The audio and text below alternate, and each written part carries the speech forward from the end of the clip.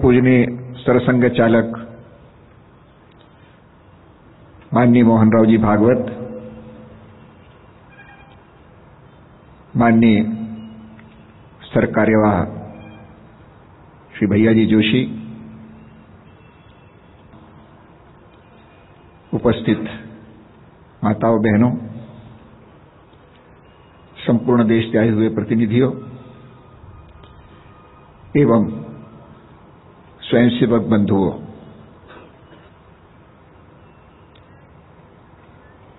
अपने वरिष्ठ कार्यकर्ताओं ने इस परिवर्तन को किसी भी उदीयमान कार्य के लिए आवश्यक माना है।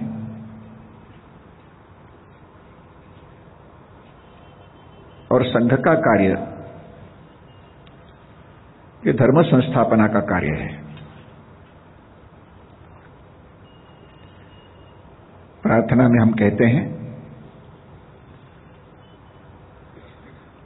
विजेत्री चर संवता कार्यशक्ति, विधायास्य धर्मस्य संरक्षणम परम वैभवम नेतु में तत्स्वराष्ट्रम समर्था भवतु, आशीषाते भृषम इस राष्ट्र को परम वैभव के शिखर पर ले जाना है। लेकिन उसके लिए आधार है कि सबसे पहले धर्म का रक्षण होना चाहिए। और इसलिए मैं नहीं, तू ही इस ढंग से जब परस्पर एक दूसरे की हम चिंता करेंगे तो ही संघ शक्ति का उदय होगा और तो ही विजय का मार्ग प्रशस्त होगा।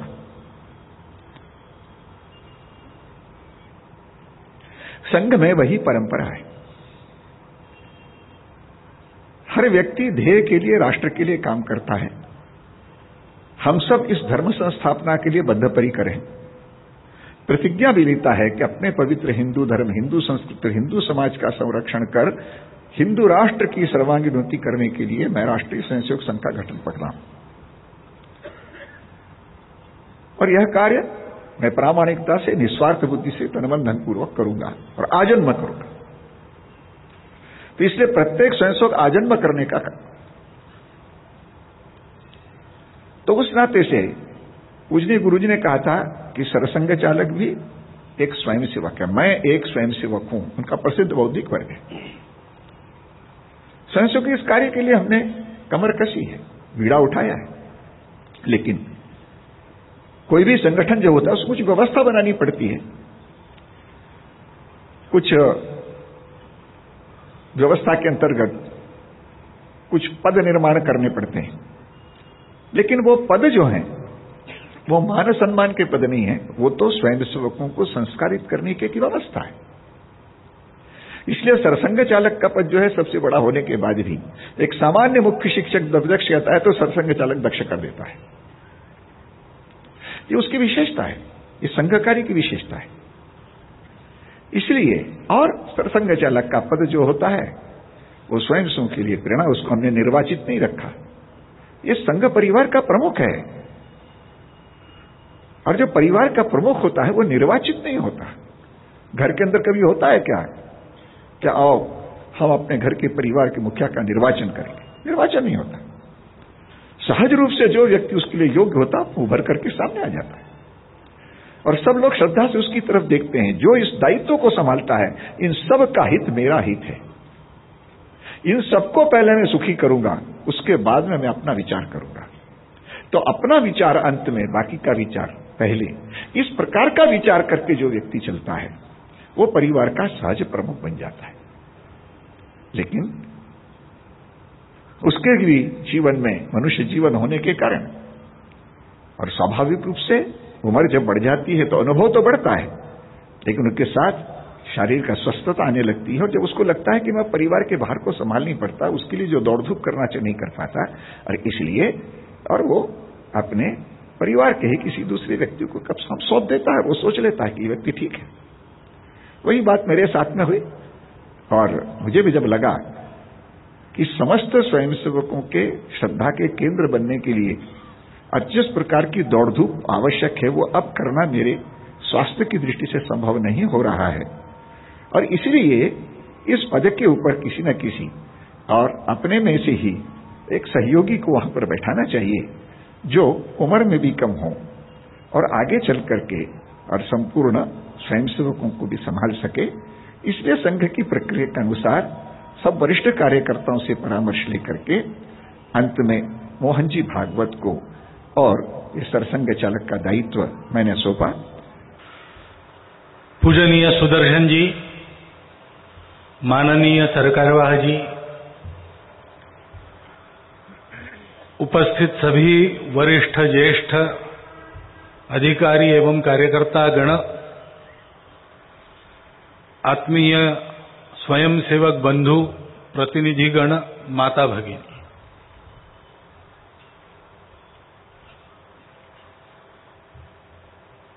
सरसंघ चालक का दायित्व अपने आप में एक गुरुभार है। और पूजनीय डॉक्टर साहब से लेकर तो अभी पूजनीय सुदर्शन जी तक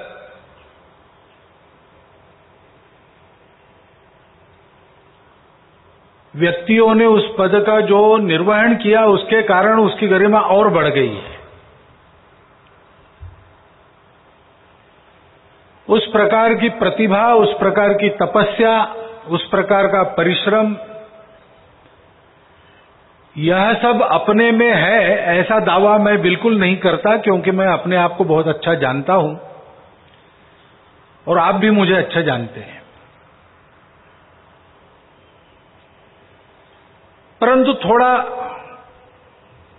किसी भी अपरिचित प्रसंग का सामना करते समय स्वाभाविक हिचक होती है, थोड़ा सा भय भी होता है। इतना शुरू शुरू में होने के बाद अब मैं अत्यंत आश्वस्त हूँ। उसके कुछ कारण हैं। एक तो यहाँ मुझे क्या करना है?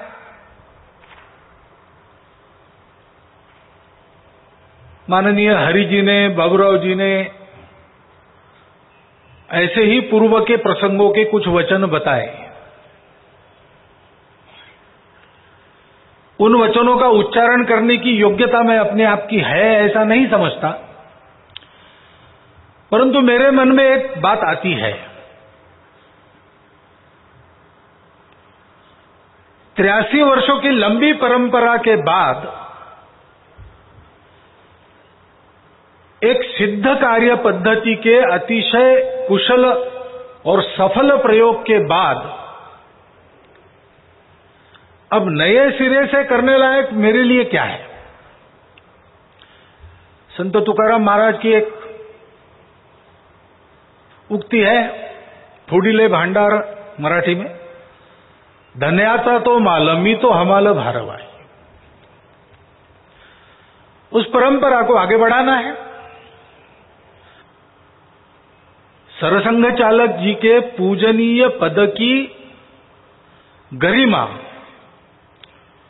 और जिन श्रेष्ठ पुरुषों ने अभी इस क्षण तक उस परंपरा का निर्वहन किया, उनकी तपस्या, इसके परिणाम स्वरूप वो विक्रमादित्य का सिंहासन बन ही गया है। और मुझे करना क्या है? आपके तरफ़ से बोलना है। हमारे घर में तीन पीढ़ी से संघ कार्य चल रहा है, वैसे हमारे घर में तीन पीढ़ी से वकालत भी चल रही है। तो मैं लॉ कॉलेज में गया नहीं, लेकिन दूसरों की तरफ़ से बोलने का थोड़ा थोड़ा मुझे भी आता है। एक इतिहास में प्रसंग हुआ, सुना मैंने, वो याद आता है कि दूसरे महायुद्ध के पश्चात इंग्लैंड के दूसरे महायुद्ध के नायक थे चर्चिल। उनका अभिनंदन हुआ। और कहा गया कि इन्होंने इतना पराक्रम किया है कि he is the lion of great Britain great Britain के, हमारे देश के ये शेर है। तो अपने उत्तर में, भाषण में चर्चिल ने कहा कि I was not the lion you were the lions I only roared for you शेर तो आप लोग थे सब। आपके तरफ़ से गर्जना करने का काम मेरा था। सरसंघ चालक जी की आवाज़ बुलंद होती है और सरसंघ चालक जी की आवाज़ दुनिया सुनती है, कब होता है? जब सामान्य स्वयंसेवक शाखाएँ ठीक चलाता है, अपना काम ठीक करता है।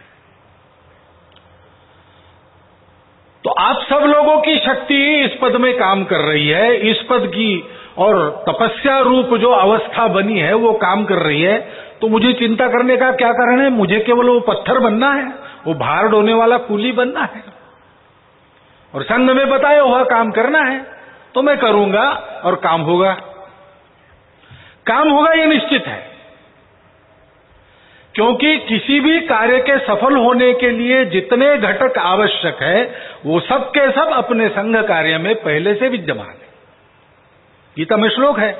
अधिष्ठानम तथा कर्ता करणम च पृथक विदम विविधाश्च पृथक चेष्टा दैवम चैवात्र पंचम हमारे पास एक शाश्वत सत्य अधिष्ठान है, जिस सत्य के आधार पर अपना संघ कार्य चलता है। वो क्या है? हिंदुस्तान हिंदू राष्ट्र है।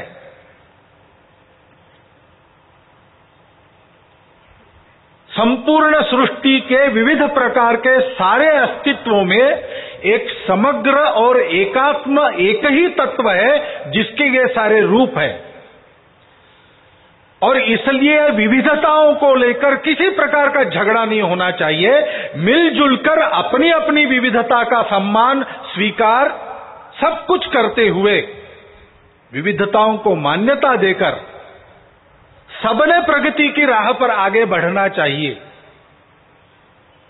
सबने सबके प्रति कृतज्ञता रखनी चाहिए और जीवन में उस एक तत्व का साक्षात्कार कराने के लिए भोगों को त्याग कर त्याग और संयम रूप जीवन जीना चाहिए, ये क्या है? ये मानवता है।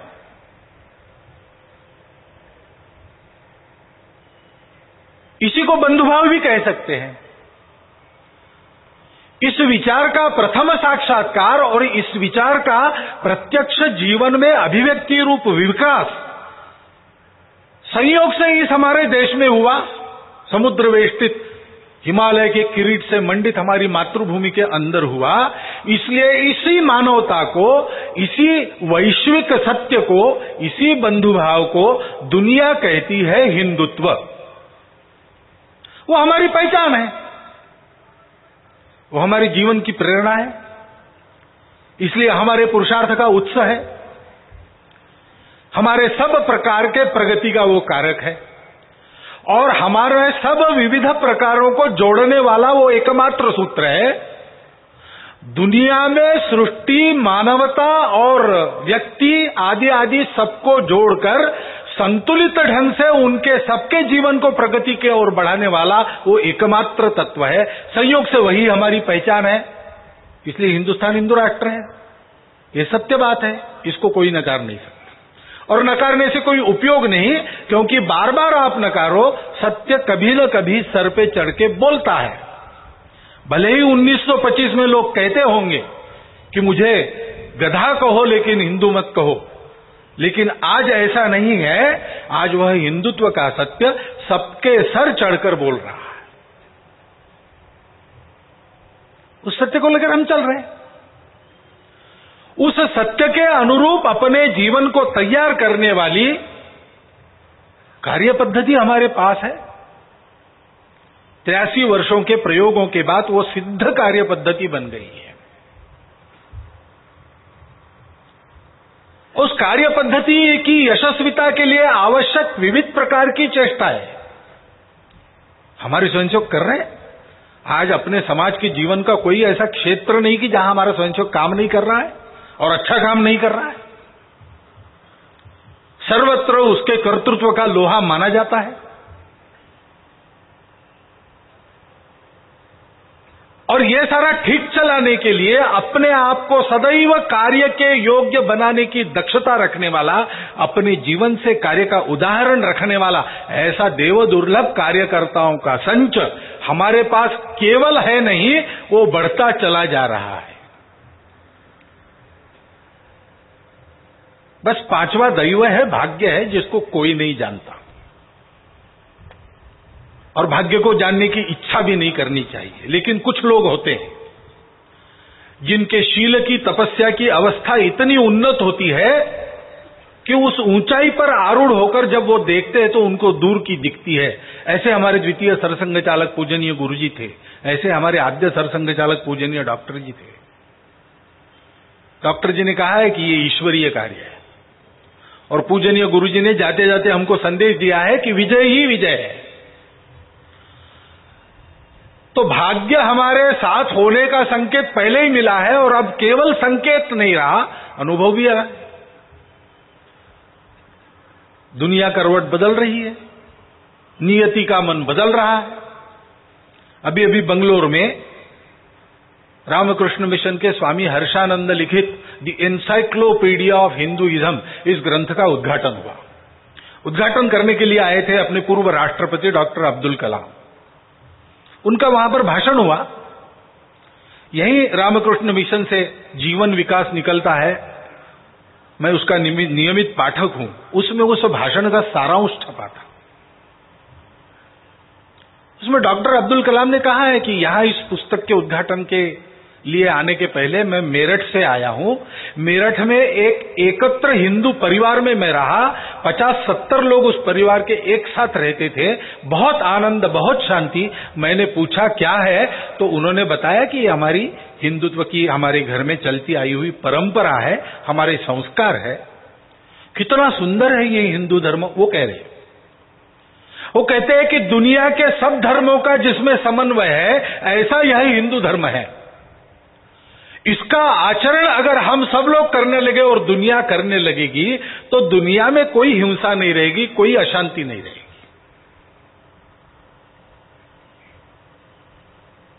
ये डॉक्टर अब्दुल कलाम कहते हैं। और उस हिंदुत्व के आधार पर आधुनिक जीवन खड़ा होने की आवश्यकता है। यह भी बात अब दुनिया मान रही। सितंबर में मैं कैरिबियन देशों में प्रवास के लिए मुझे भेजा गया था तो गयाना में गया। पहला प्रवास गयाना का था। अब हमारे बिना कहे संघ की दुनिया भर में प्रसिद्धि करने वाले अपने कई विरोधक हैं। हम उसके लिए उनके कृतज्ञ भी हैं। उन्होंने मेरे जाने के पहले ही वहाँ प्रसिद्धि कर दी कि कोई भयंकर संगठन है, संघ के नाम का, आरएसएस नाम का, हिंदुस्तान में, और उसका एक जनरल सेक्रेटरी आ रहा है, चर्चाएँ चलने लगी। तो वहाँ के एक संपादक में जो थोड़े बहुत संपर्क में थे, अपनी जानकारी वगैरह लेकर, एक अग्रलेख लिखने का सोचा वहाँ के प्रमुख, गयाना टाइम्स नाम का वृत्त पत्र चलता है, वहाँ, उसमें। और संयोग से मेरे जाने के अगले दिन अमेरिका का आर्थिक पतन शुरू हो गया। पहली पहली खबरें आने लगी। तो उन्होंने अपने अग्रलेख का प्रारंभ ये किया है। दुनिया क्या सोच रही उसके बारे में? उसको विस्तार पूर्वक देखना है तो मार्च का रीडर्स डाइजेस्ट पढ़ लीजिए। उसी के प्रस्तावना उस अग्रलेख में थी। उन्होंने कहा कि भय, भोग और एकाधिकार के आधार पर चलने वाली कोई व्यवस्था उस व्यवस्था की जन्मदात्री अमेरिका में भी नहीं चल सकती, ये अब सिद्ध हो गया है। लेकिन ऐसे संपन्न देश, गरीब देशों पर उस व्यवस्था का डंडा चलाने के लिए काम करते हैं, उसकी प्रतिक्रिया में वहाँ के मिट्टी के विचार को लेकर कोई ना कोई संगठन वहाँ खड़ा हो जाता है और अपने देश की पुनर्रचना अपने स्वत्व के आधार पर प्रकृति के अनुकूल करना चाहता है। भारत में ऐसा एक संगठन, राष्ट्रीय स्वयंसेवक संघ है। तो दो प्रसंग छोटे छोटे ऐसे अनेक हो रहे हैं, हम सबको उसका अनुभव है। और इसलिए काम बढ़ना ये निश्चित है। ईश्वरीय कार्य होने के कारण सफल होना ये निश्चित है। हम सबको लेकिन उसके अनुसार चलना पड़ेगा।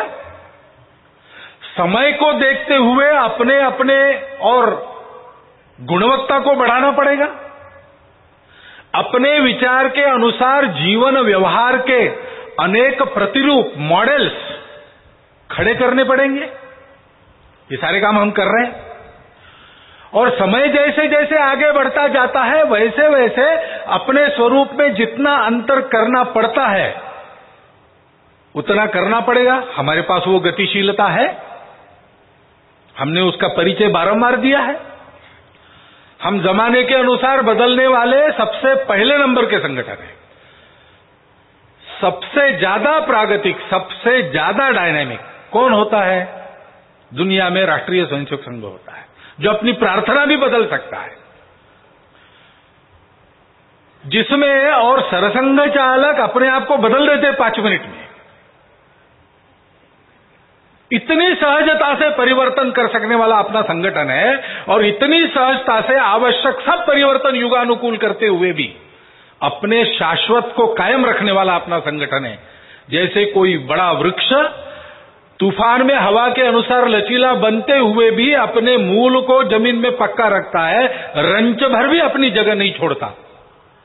तिरासी वर्षों से ऐसा काम हम करते चले आए और सब मिलकर वही करना है।